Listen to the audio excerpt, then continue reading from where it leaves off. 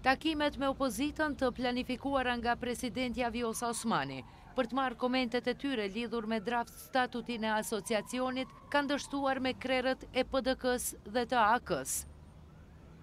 Kryetari i PDK-së Memli Krasniqi ka thënë se takimet e tilla nuk japin asnjë efekt real për çështjen e draft statutit të Asociacionit. Sipas Krasniqit, është e rëndësishme që për Asociacionin e komunave me shumicë sërbe të japë qëndrim zyrtar kryeministri i Kosovës.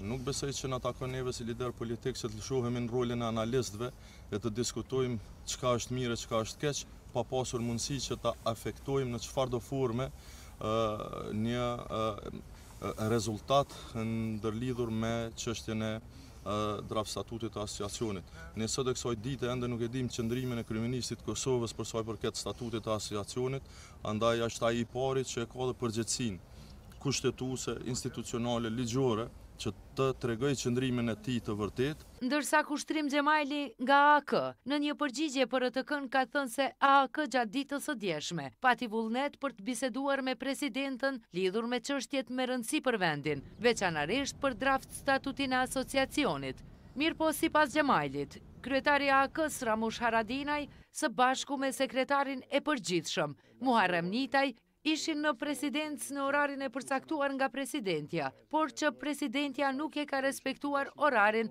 të cilin e ka caktuar vetë. Prandaj takimi nuk është realizuar.